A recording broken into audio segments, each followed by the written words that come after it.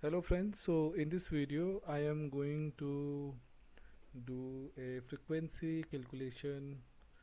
So reason it's a continuation video. Initially I have done energy calculation using water and then optimization. So I will going to do three calculations.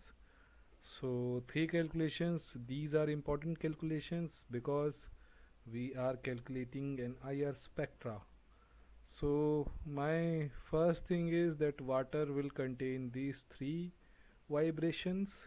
There are other vibrations but they will be three will be more prominent. So one is symmetric stretch in which two H atoms will um, will move opposite. Or you can say the bond you, you can see this this uh, the vibration will be in this direction and vibration will be this direction. So they are in opposite. So this is called symmetric stretch then we have a, a bond angle or bending vibration in which the bonds try to just move opposite to each other followed by the same. So it's a bending vibration. So its value is around 1595 and symmetric stretch value is around 3652 there is another type of uh, vibration which called antisymmetric or asymmetric stretch. Asymmetric stretch is something that uh, two OH bond vibrations of two H bonds are in the same direction. So that is we are going to do. So the problem uh, is like uh, I have done the calculations and it was just it was uh, means for it is very difficult to show it in a video. So what I will do is I will just open basics one I will show I will show I will try to show one part with simple Hartree Fock then we will just do it like simple one I will just use. This is our gjf file. Open. And then I will just do a one calculation. Calculation setup. We are doing optimization plus frequency. That is what we want. Then we want method method I will just discuss three method. Three methods are like this. So we can move to next slide if there is yes. So our three methods will be like something like this.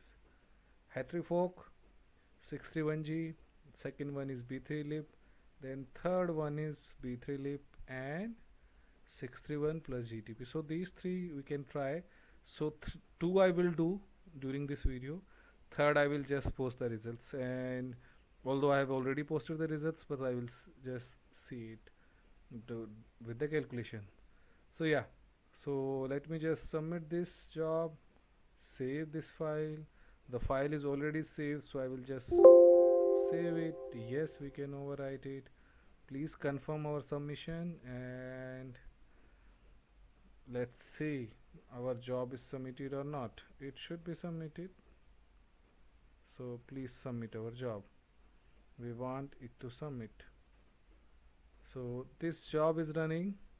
Let's see how much time it will take. Because when I was doing this calculation it was taking time.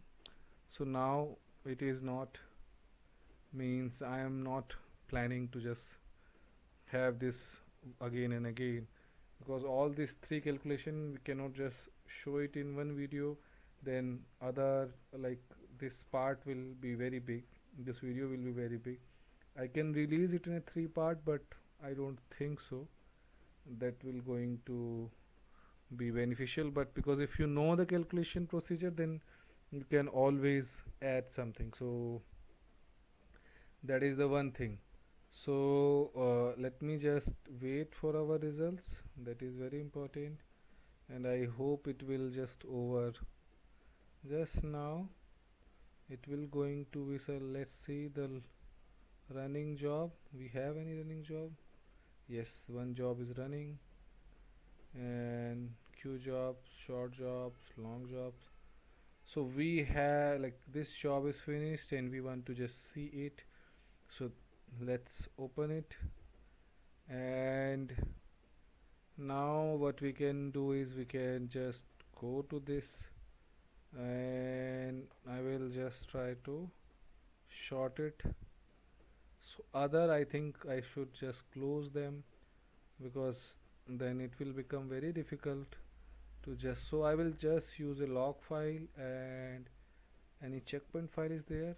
Yeah this is the checkpoint file so I will just also so we will just keep these two files one is a main our GaussView window and another is this one so let's go to results and we can go to vibrations. So you can see it's 1737398841145 so these are our, our value. Let's see the nature. So if we just start the first animation it is bending vibration. If I go to second one it is an symmetric stretch. And if I go to th third one it's an asymmetric stretch. So let's use this value and I will just save this value. So it is around 1737 and by the way this ones are these one are the original like experimental values. So better I will make it red. So 1737 3988 they are not close to our calculation. So 4145 this is our 4145 yes.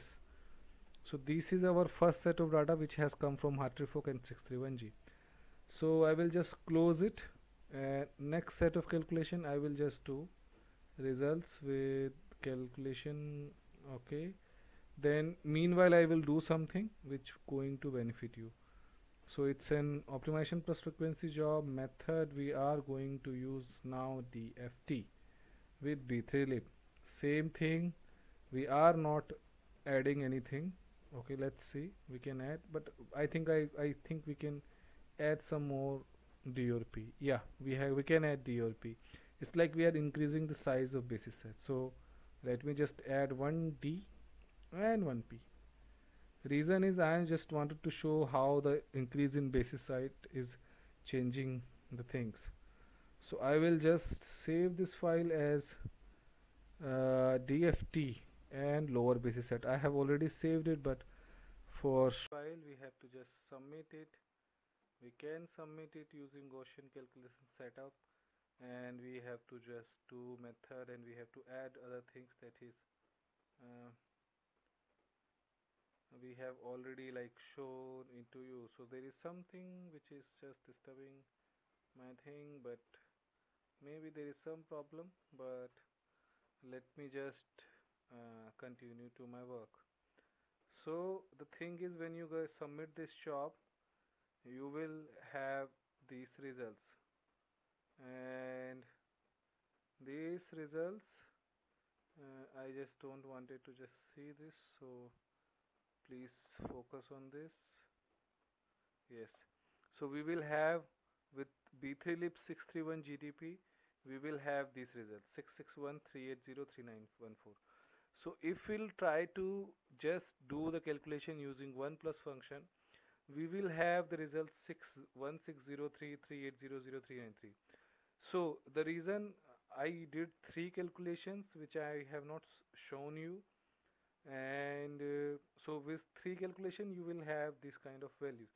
So you will end up with a value which will close for this value. So if you you can submit. You can if you want to submit we can just already submit this file. We can submit we can confirm job submissions and we will end up with some results. It is it is as simple as that. If you submit it will be like run in the background but results I will show. Like with 631 GDP you will have 1664 values then so the purpose is like when we do these three calculations and we are moving from Hartree-Fock to DFT then in DFT we are increasing the size as well. So it will actually uh, make you come closer to the experimental value and that is what all the purpose is. And not only that frequency calculations are useful when you are trying to find a minimum energy structure. So people always ask you have you done Hessian calculation to check whether your structure is minima or not. So for that you also have to done and you can also generate an IR spectra. So I have recorded almost 10 times this video but because there is a some problem with, because of that I'm not able to show all the calculations but the procedure is same. You have to just perform this calculation. You have to just uh, compare the results. So I think that is for this video and hope I will meet you in the next video thanks for watching my videos. Bye bye